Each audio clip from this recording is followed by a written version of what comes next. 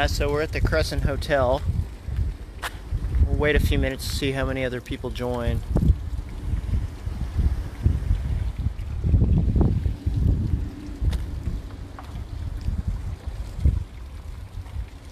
There's the outside.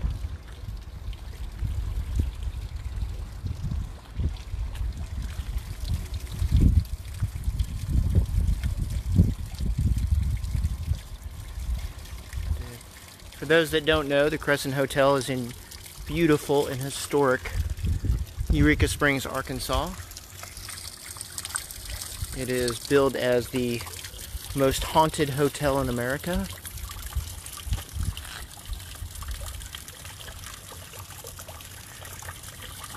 Well, Kim, that's actually a great question. And unfortunately, I cannot disclose the reason why we are here um, yet. Uh, we were asked by the Crescent to come up uh, and do a special uh, project, uh, but beyond that, I can't talk about it yet. But we've wrapped up our project and we have a little bit of free time tonight, so we've got free access basically to uh, to the hotel. So I think we're going to probably go check out one of my favorite spots, uh, which is, as you might probably easily guess, the morgue. So let's go down there uh, and go check things out. Keep watching uh, America's Most Haunted um, Facebook page for the hotel. Uh, they should be releasing some information about the recent findings at the hotel and probably uh, information about the special project. So we are walking down. Oops, out of focus. There we go. Let's flip this around. Can you see me? And Sherry? Now let's flip it around. You'd probably rather see. Okay. Let's go down to the morgue and go check things out down there. Kind of nice uh, evening up here in Eureka. It's beautiful weather.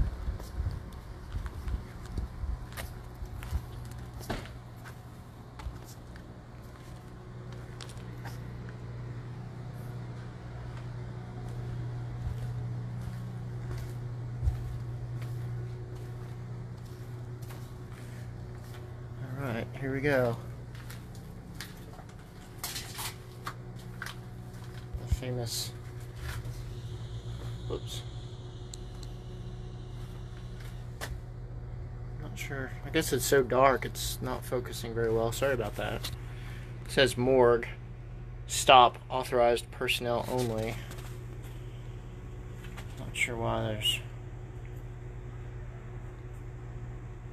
There we go get a little light on it. So let's uh, let's go in. Uh oh.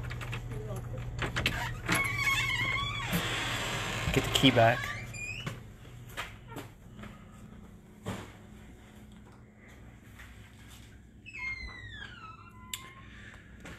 So this is the the morgue officially. Um, this is the room where they show a couple of videos and do some um, introduction, basically to uh, to the um, hotel and the tour. Uh, one of my favorite signs here is the original cancer curable hospital sign from Dr. Baker's era.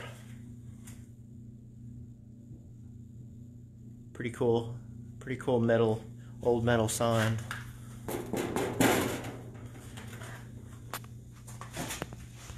Couple of different uh, posters showing some of the history of the hotel, uh, when it was Baker's Cancer Hospital, some information about it.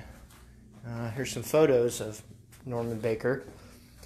Um, as you can see, he was a fairly charming young man, uh, very attractive.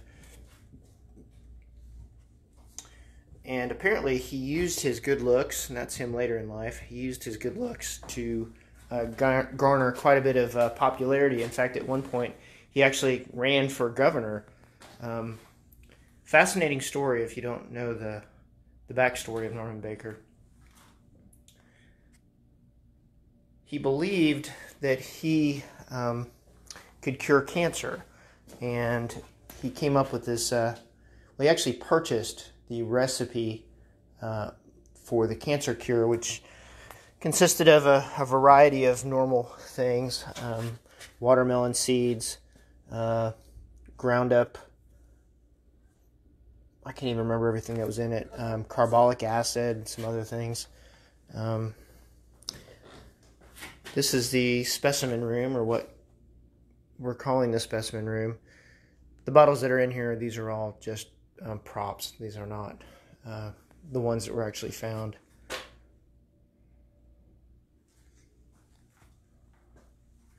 This room is famous for, you probably remember, that um, locker. This was in episode 13, I believe, of Ghost Hunters, uh, where Jason and Grant uh, were alleged to have seen what they claimed to be a uh, Civil War soldier um, in the thermal imager.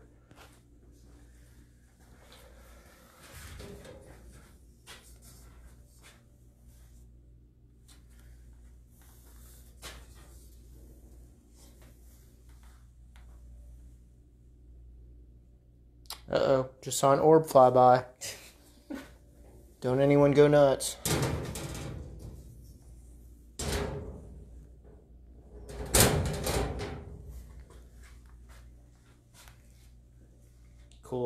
Wheelchair.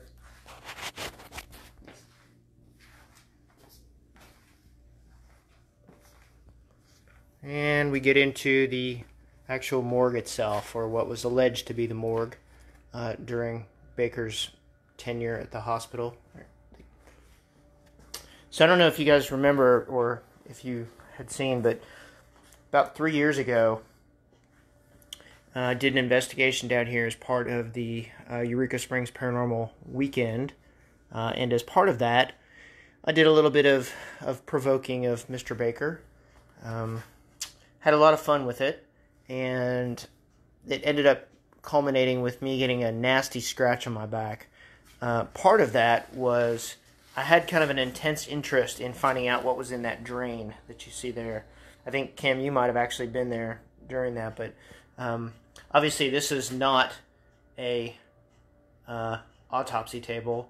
Uh, it, it's not the layout is not sufficient for that. It might have been a preparatory table uh, for an autopsy, but a body probably would not have fit on this Plus, autopsy tables don't generally have sinks built in like that. Um, but it is very likely that this was part of the um, the autopsy uh, equipment. We just don't know exactly what this was used for. But back to the drain. So a few years ago, I thought, you know, if this really was an autopsy room, and there's a big drain in the center of the room, uh, which generally would indicate that after the bodies were um, dissected and, and analyzed, they would probably wash the floors down to remove the blood, etc., uh, which would then go down to the drainage system, right? So I dug out the drain. Um, I opened up the drain, dug it out like I'm gonna try to do again unless it's sealed. Nope, it's still not sealed. Um, with my thought being that if this was a morgue at one time, that there probably would have been pieces of bone or pieces of human tissue that would have uh, been washed down the drain. But as you can see, it is fairly solidly clogged with mud and sawdust, primarily sawdust. Um, it looks like there's some other pieces of stuff in here, um, sticks and things like that. But it dug down. I was able to dig down probably, I don't know, three inches, probably right about here. Uh, and then there's a, a cement cap that's down there. So I don't know that this was actually a true drainage um, port. Uh, not really sure exactly what function that this would have served. You know, for it to be an for it to be a drain for an autopsy room, I would certainly think that it would have to have a larger diameter gauge uh, to allow things to flow down it that might not uh, necessarily go down a normal drain. So, as you can see, it's not very deep, um, and all the stuff that's in it is just nasty, muddy, dirty stuff. So it's a little disappointing. I was hoping that we would find, you know, something that would prove that this was used as a morgue, uh, but unfortunately, we, we didn't. Um, but still, still a pretty cool little story. There were a few people in the room at that time when I dug that out originally that kind of freaked out. That were, you know, scared that it was going to release the the demons of the hospital or whatever, but nothing happened. So a little walk around. So this is one of my favorite little areas too. Um, this is what used to be the cooler. So obviously, when bodies were stored for periods of time, they would need some type of refrigerated area where the bodies could be uh, safely. Picture of Norman Baker on the inside, where the bodies could be safely uh, stored uh, to prevent decomposition until they were returned to family members, etc. So couple years ago, uh, we set up an experiment in here during the Eureka Springs Paranormal Weekend, where we set up a. Um, that's really ugh. All the look at all the cork insulation material.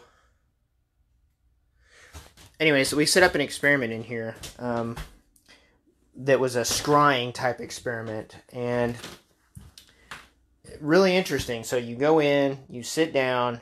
There was a mirror that's facing, that was on this wall uh, with a series of, of mirror or a series of um, candles on either side, and really interesting. You start after a period of time, your eyes kind of get acclimated to it, and the the dim light from the candle doesn't illuminate it fully, but it illuminates enough that you can kind of see a little bit um, into the mirror uh, and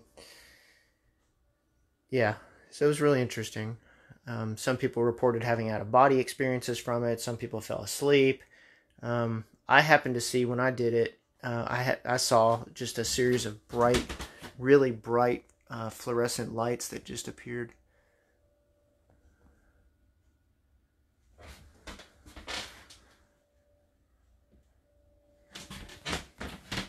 You could certainly imagine, though, having bodies stored in here. Now, I've heard from several people that they would have 20 bodies at a time stacked in here, and I, I find that a little hard to believe, honestly.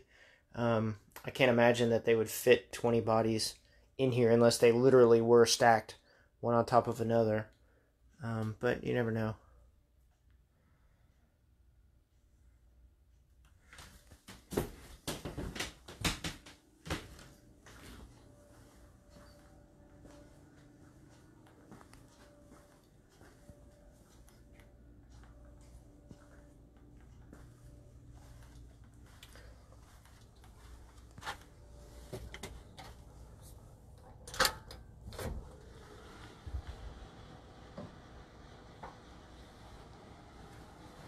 walk out here for just a minute.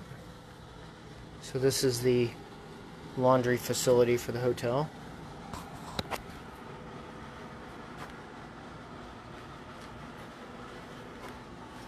Washers and dryers.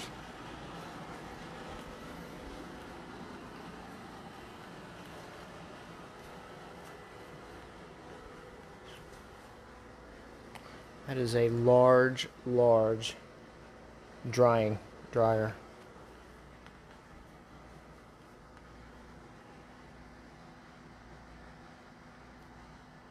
You can imagine a hotel of this size probably would have to do a significant amount of laundry.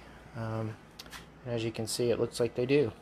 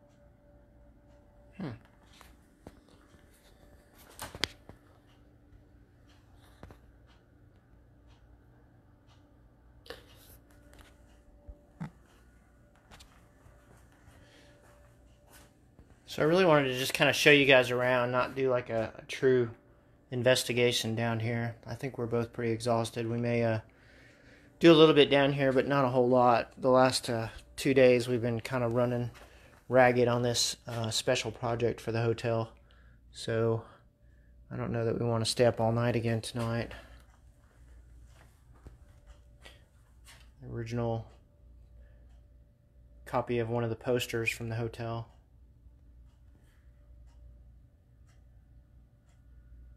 Atop the Ozarks.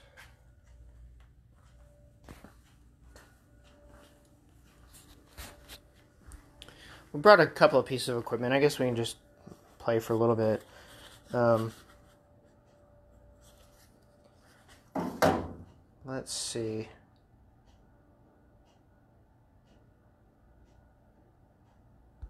So one of the things, so I brought a Ovilus 5. We can fire that up. See if we get anything down the stairs here.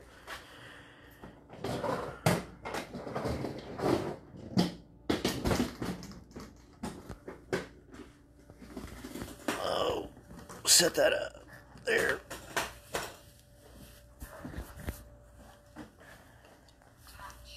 Touch. Mr. Baker, are you down here? What do you want us to touch?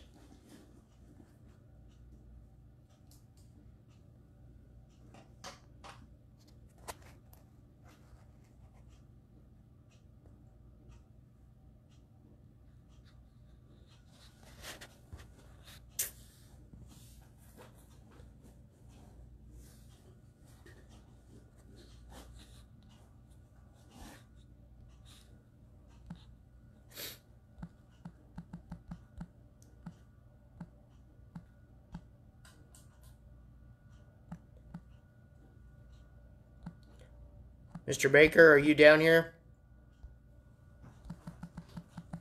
I'm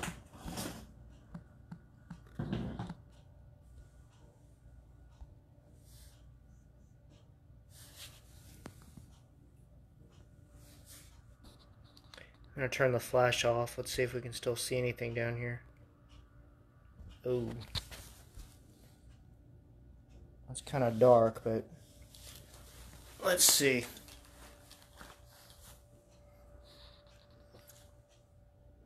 Do we want lights on or lights off?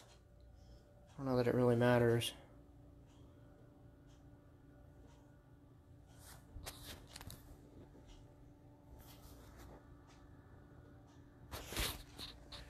All right, Mr. Baker, I'm back. You remember me from, well, January was the last time I was here.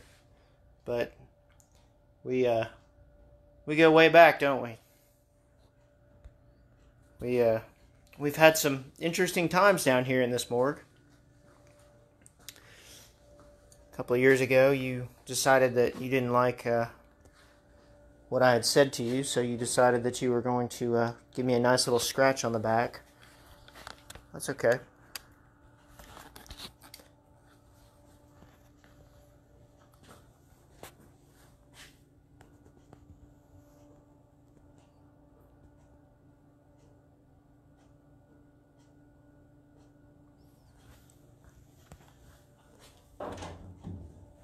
Set this up as well.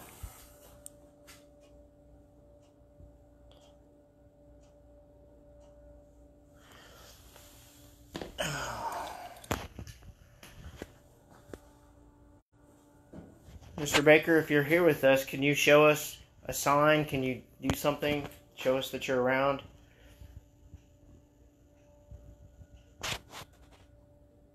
We would really appreciate it.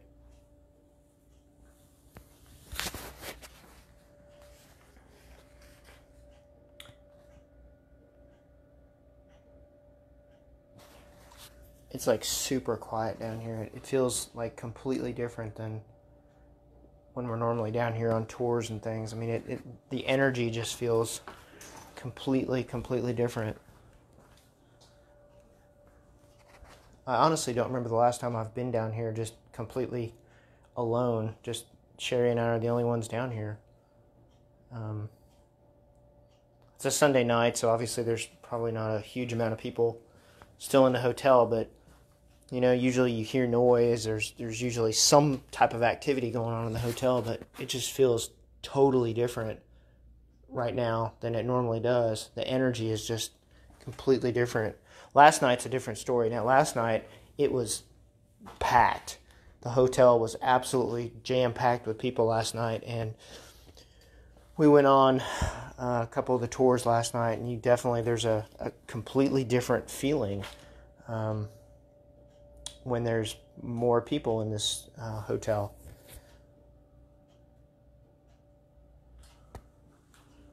Let me turn on the Ovilus, or I'm sorry, turn on the Poltercom as well. See if we get anything with this maybe. Whoops.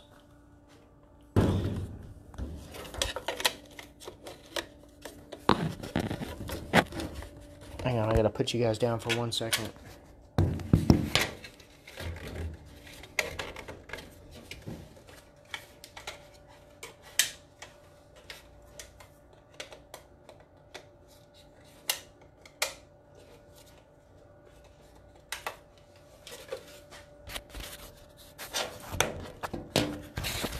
Okay, sorry about that. I had to uh, put the bat back on the battery, the battery pack. Why don't we fire this thing up down here? This is a, a new little gadget that my friend Jeremy uh, created from Paranologies. It's called the Poltercom Progeny, and this is the customized uh, version of the Poltercom that he built me um, a year or so ago. This is the the more miniature version.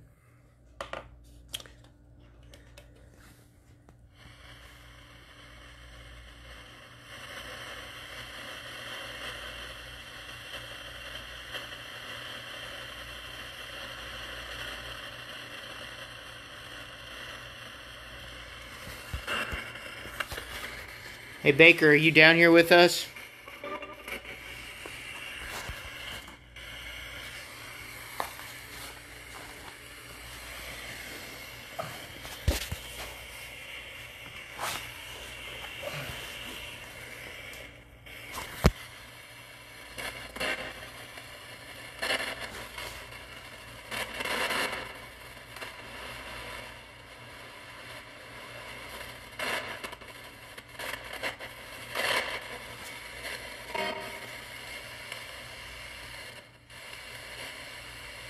Is there anyone anyone with us right now?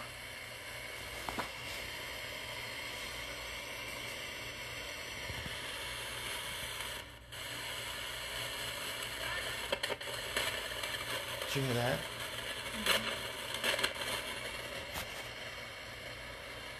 Can you repeat that?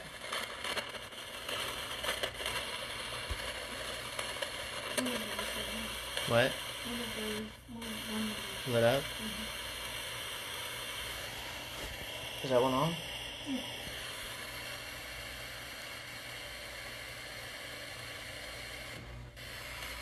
The heck was that? Oh, okay.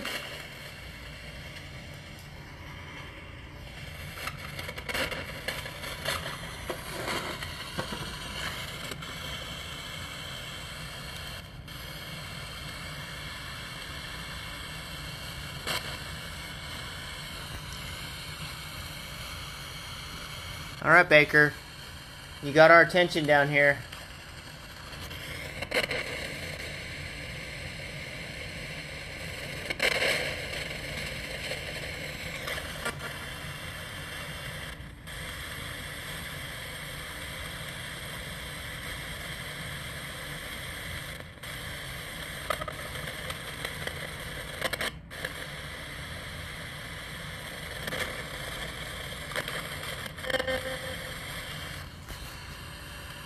You remember me?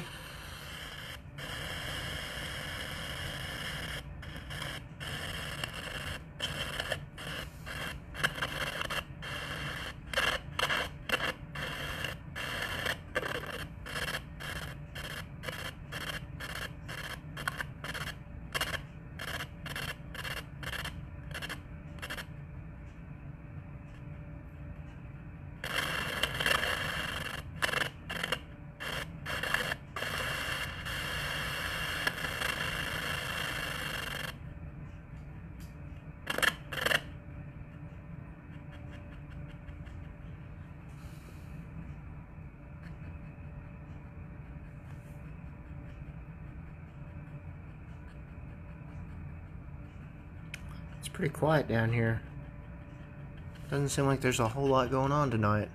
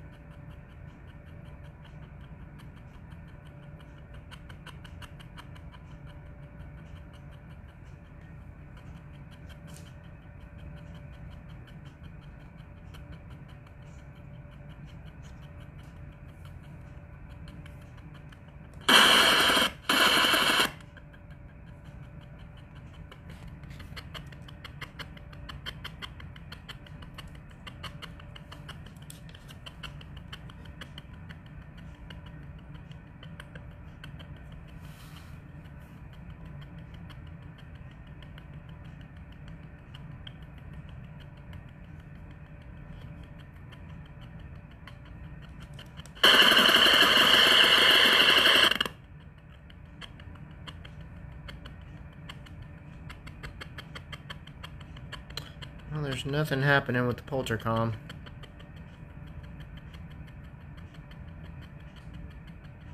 You know, I've never really had very good luck with any type of um, scanning radio receiver in the Crescent, uh, in the, at least on the lower floors. I suspect it has to do with the amount of metal uh, and stone, so there's probably not very good uh, radio reception down here. The way devices like this work is that they scan AM or FM uh, radio bands um, sequentially, uh, with the thought being that spirits or, or ghosts or whatever you want to call them are somehow able to manipulate um, the uh, scanning to allow words to allow it to fall on words uh, that are kind of specific to the questions. Um, you know, sometimes you get good results, sometimes you don't. I, am generally not that big of a fan of the FM uh, type radio sweep systems uh, for a number of reasons. One, like this, where we are here in the hotel, where there's not very much uh, radio reception, it's it's obviously impossible to get any type of sound out of it. Uh, and then, secondly, uh, there's there's too much of a possibility of audio matrixing. Basically, you know what you hear you kind of your brain tries to pattern match that and you, you hear something that might not necessarily be what actually was, was said and your brain tries to make sense of it. So if you hear you know a word and you ask the person next to you what did you hear? More than likely the two of you will probably have heard two completely different things. So not a huge fan of these types of devices. Um, they're cool but i wouldn't say that they are uh, by any means the be all end all of, of investigative equipment. This thing's really quiet. Um, actually, everything's really quiet. The Ovilus isn't really talking. Uh, the let's see.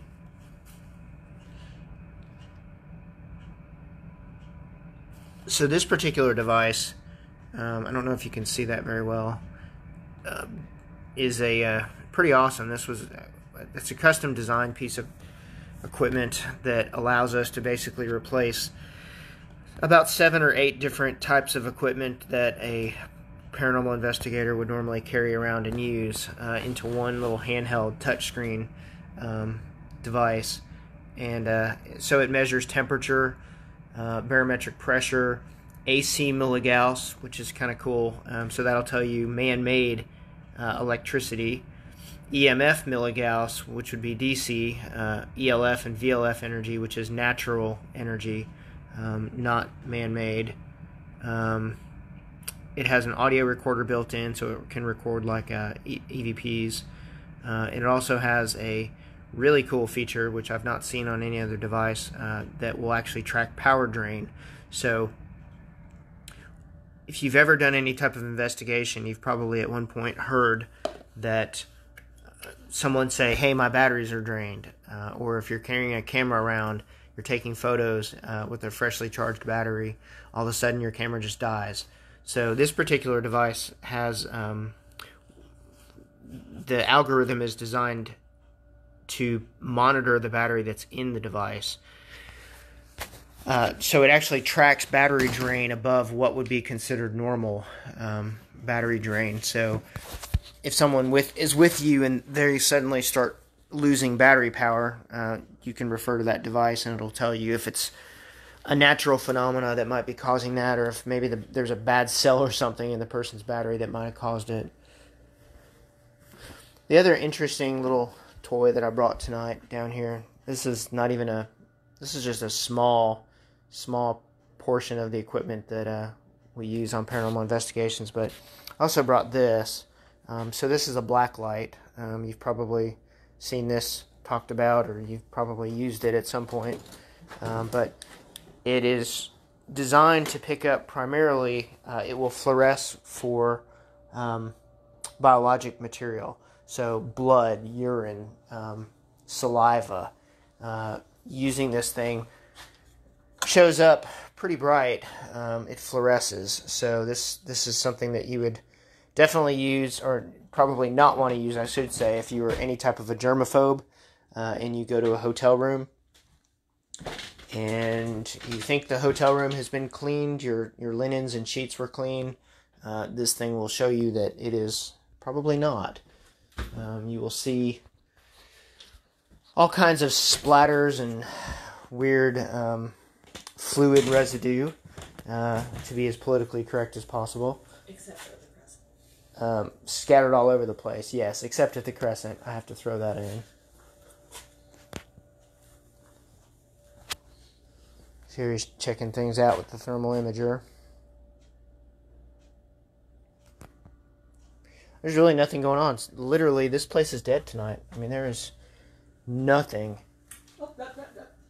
Oh, I say that, but hey, Baker, is that you?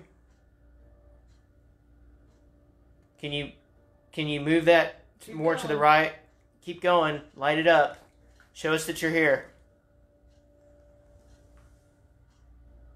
Come on. Keep If you going. walk by it, you can turn it green. That way we know you're here with us. Oh. Oh, there it is. Thank you. Skip. Hey, so Baker, does that mean are you here now? Halfway. Can you light? Yeah, it was only halfway. Can you light it up again? Can you walk by it or touch it? Tell people how that works. Hmm? Tell people how that works. So that is. So it's it's kind of an interesting little device. Again, this was designed by my friend Jeremy Jones from uh, Paranologies, and it is uh, a triboelectric field detector. Basically, it's it's a it's a fancy static and EMF meter, um, and it is kind of similar to a standalone um, EMF type device. And it, if there is any type of static energy that goes near it, uh, it lights up sequentially in uh, strength. So we've used it very successfully on a variety of investigations as kind of a a digital Ouija board of sorts um, to answer yes no type questions to um, show that there's some type of energy or spirit that's in the uh, room with us, etc. Yeah, Dana, you could be right. It may not be Baker. It could be someone else for sure. You know, that's you generally a lot of people automatically assume uh, that Baker is somehow attached to the morgue down here, but you know, you make a really good point, and that's absolutely true. So Baker was not an actual doctor. He called himself a doctor, um, but he was not a doctor. Um, so he employed doctors that worked for him. So to my mind, there probably would not have been a really good reason for him to be down here in the morgue, being that he was not a practicing physician or a doctor. He didn't have uh, the medical training. He he really would have had no need to be down here. So it's just kind of you know through the years, urban legends how they kind of grow and kind of take on their own uh, life to an extent. You know, I th- I think to a large extent that probably has happened uh, here at the Crescent um, with the uh, with the morgue. Um, I don't know that he really would have been very um, attached to down here. Kim, that's a great question. So I've I've been to the Pythian Castle in Springfield. We checked it out uh, several years ago. Um, it's a really cool place. Um, I'd love to come back at some point, but don't know. I don't know when. Had some really interesting things happen there too when we investigated it. I'm not even sure if it's the same owner uh, or not, uh, but she was she was very open to having uh, paranormal investigators come out to it. So, yeah, I'd certainly I'd certainly come back if she was still amenable to that. Guys, there's not a lot going on down here. I don't want to just keep on pushing if nothing's going to happen tonight. It literally is dead. Maybe we wore them out this weekend. Yeah, it could be. There was quite a bit of activity we had last night. Um, and again, being that there's so few people in the hotel tonight, you know, may- maybe that's uh, part of the reason. But you know, that's interesting. You always think, or you always hear as paranormal investigators, that the best results usually are, are received when there's fewer people.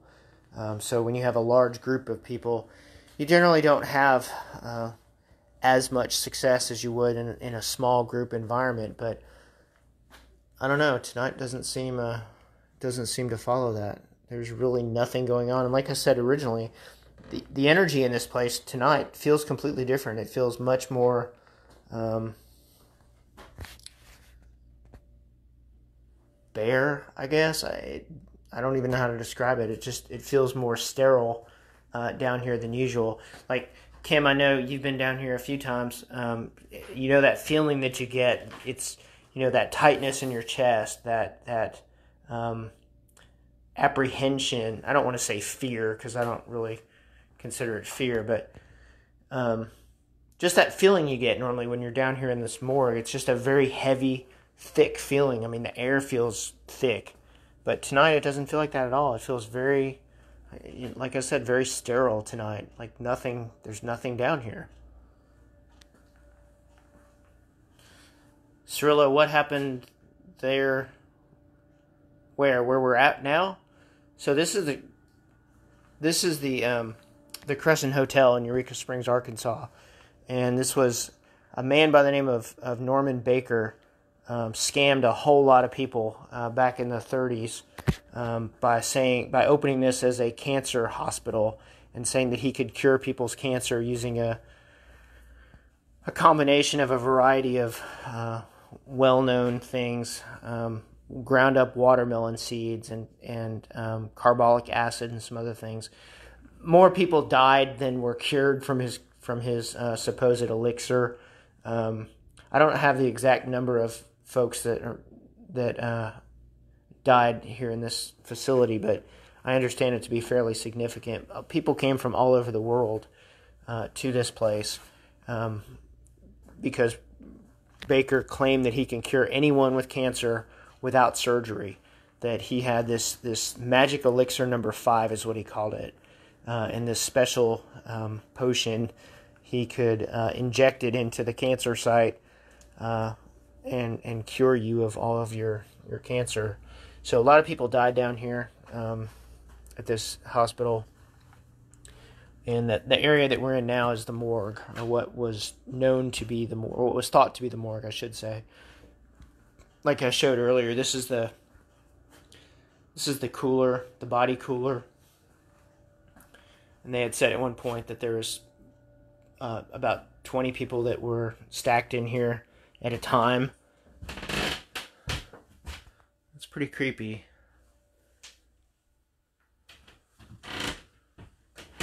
It definitely is a cooler. Um, it could be argued wh- whether this was actually used as a as an actual body storage place or not. I mean,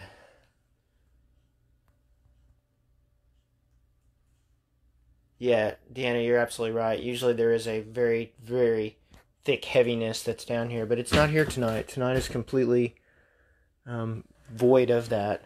And again, it could just be because there's no one in the hotel. The hotel is basically empty tonight, or it could be that um, the ghosts or spirits are taking a little break tonight.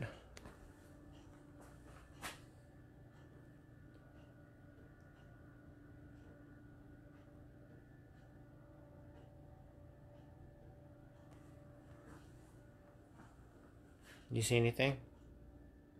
No, but it shut off twice. As you can probably see or not hear, um, there's nothing going on with the Ovilus, with the some of the EMF meters. Um, there's just nothing going on down here tonight. It's a cool place, but unfortunately not very exciting tonight. But that is kind of par for the course. Sometimes it's super, super active. Sometimes it's not. I mean, that's kind of the the frustrating thing about paranormal investigating. You know, sometimes you go places and it's super, super active, and you get lots of activity and lots of things happen. And then there's sometimes where there's hours and hours and hours where nothing happens at all, and it's completely um, boring. You don't see that on the TV shows, though. I mean, obviously the the shows pack as much as they can into 30 minutes or an hour episode, um, so you don't actually get to see the hours and hours and hours of sitting around that where nothing does happen. And this happens to be one of those uh, one of those cases where nothing's happening. It's just very, very, pardon the pun, dead tonight. This is some sort of medical thing. I'm not sure exactly what it is. Relaxacizor. I don't know if that's original to his time or not. I would say probably not. What? Oh, Someone's in here.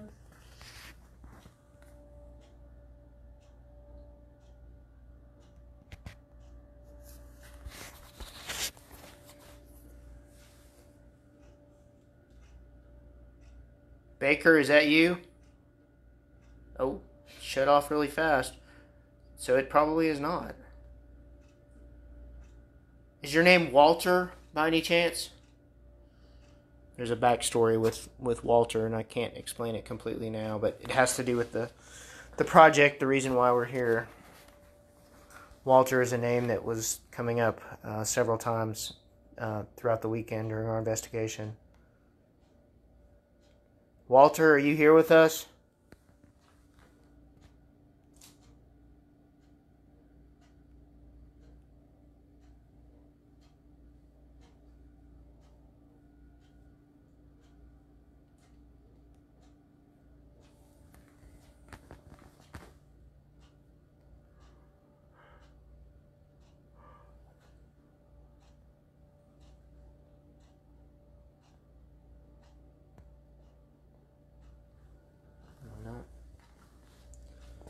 Kind of hit or miss tonight.